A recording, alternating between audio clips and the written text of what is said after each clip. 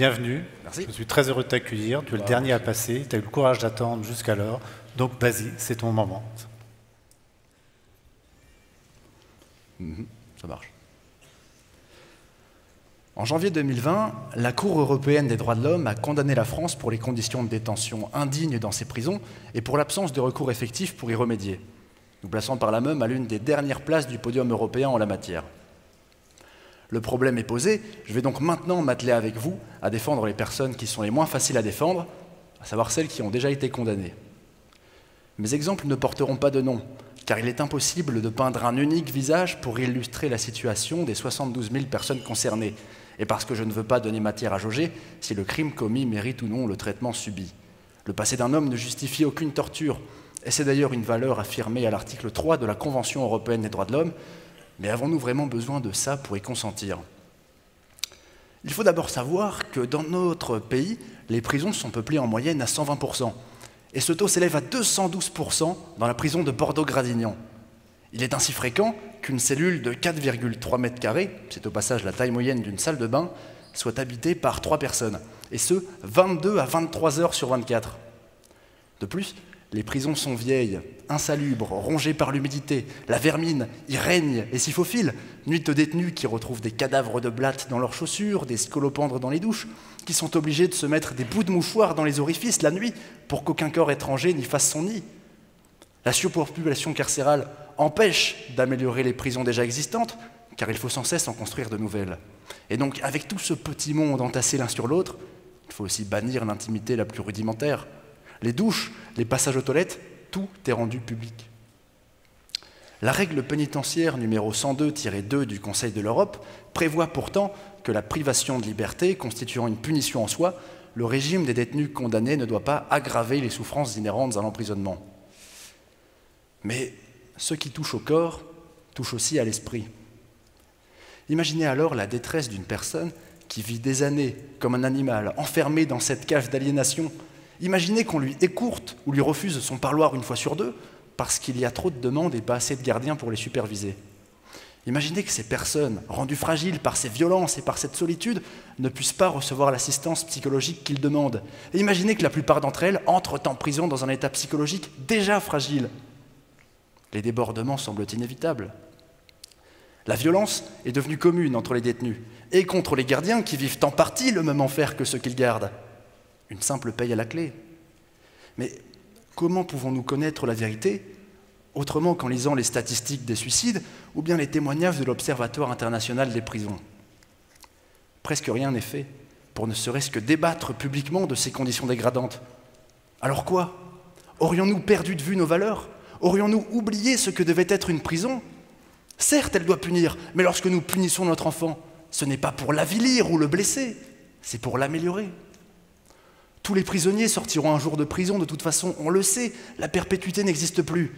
Et voulons-nous vraiment que ces personnes, inhabituées à une vie saine en société, soient relâchées parmi nous comme ça d'un seul coup? Non. Si la prison doit avoir un seul objectif, c'est d'être l'interface entre l'entrée d'un humain considéré comme dangereux pour la société et la sortie d'un humain prêt à la rejoindre à nouveau. Cela s'appelle la réinsertion. Et cette réinsertion et cette prévention de la récidive, ce sont des obligations des services publics pénitentiaires inscrites dans la loi numéro 2009-1436. Mais à ce stade, on ne lutte même plus pour promulguer ou abroger une loi, simplement pour la faire appliquer. Or, toutes ces possibilités de réinsertion sont rendues extrêmement complexes par la surpopulation carcérale d'abord, qui permet à seulement 12% des détenus de travailler dans un atelier et à 17% de suivre des études. En outre, la plupart des emplois proposés sont inadaptés à la préparation du retour à la vie active. Un détenu raconte Mon emploi consiste à mettre des épingles dans des sachets. Un carton de 30 sachets est rémunéré 1,33€. On nous demande d'en remplir 20 par jour. Pour y arriver, nous travaillons les jours fériés et les week-ends. De sorte que le régime des détenus favorise une oisiveté infertile à toute réinsertion, qui transforme, à mesure que la situation empire, nos prisons en grandes fabriques à.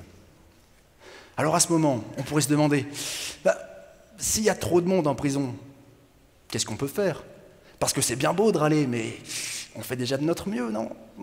Mais c'est vrai, on fait déjà de notre mieux. On fait déjà de notre mieux pour punir, pour délivrer des châtiments, pas pour améliorer la société, but présumé de la peine, en faisant du détenu sortant une personne meilleure qu'à son arrivée. Et cette situation est malheureusement vouée à durer. Le budget de l'administration pénitentiaire pour 2023 prévoit 681 millions d'euros dans la construction de nouvelles places de prison, quant à seulement 259 millions dans la prévention de la récidive, dans la réinsertion, dans les aménagements de peine, dans les alternatives à la prison et dans l'entretien du parc carcéral existant. Donc le problème n'est pas que d'ordre matériel. Et la preuve, c'est que des pays plus pauvres s'en sortent mieux que nous. Cette ambition punitive de la prison, qui infantilise le détenu et le réduit à un état de presque-homme, nous l'avons ancrée dans notre manière de voir les choses à force de confondre la justice avec la vengeance. La vengeance, c'est le fruit de ce que nous dictent nos pulsions. Lorsqu'on nous fait du mal, notre envie première et naturelle est de causer le plus de souffrance possible à notre ennemi. Mais ça, ce n'est pas le rôle d'un État. L'État, la justice française, doit prendre de la hauteur. Elle doit mobiliser toute son expertise au service de la défense et des valeurs de la nation. Elle doit toujours se demander quelle décision serait la meilleure pour le bien de la société. Non pas laquelle serait la meilleure pour préparer les prochaines élections et faire croire aux gens que la répression éloignera tout danger. Ici, la décision supérieure ne serait pas celle de la vengeance, ni de l'émotionnel, ce serait celle de la réinsertion, du choix né de la réflexion, ce serait celle de la justice et de la démocratie. Et je dis bien démocratie, car dans une démocratie, les mécanismes sont secondaires. Ce qui prime, ce doit être les valeurs, parmi lesquelles les droits de l'homme.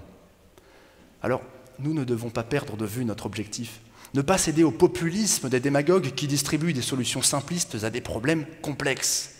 Et par chance, pour cela, nous avons un pouvoir magique celui de la citoyenneté. Ce pouvoir nous permet, à force de vote, de militantisme, d'information et de débat, de faire valoir nos valeurs, d'offrir enfin l'opportunité aux prisons d'appliquer la loi.